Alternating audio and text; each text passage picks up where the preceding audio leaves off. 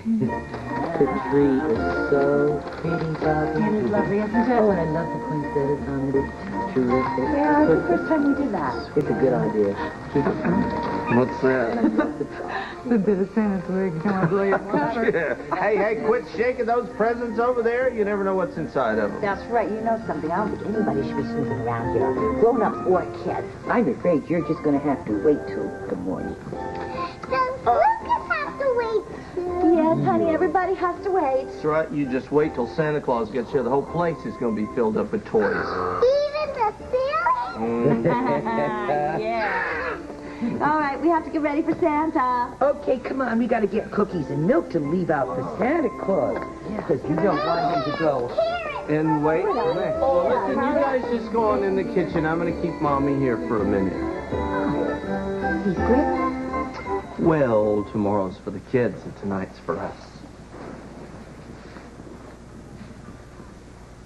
Merry Christmas. Oh, Tony. Open it. Now? Tonight's the only private time we're going to have.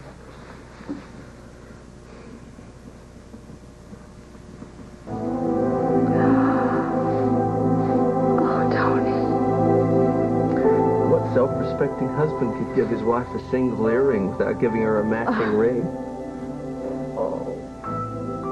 Well, I didn't mean to make you cry. It's beautiful. I did it because I love you. I love you so much. I love you, too.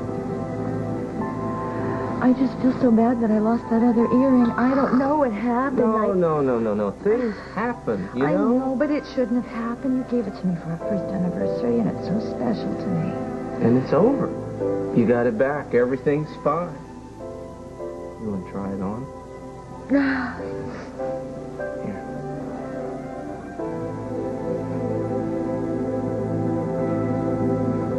Fits? How do you like it?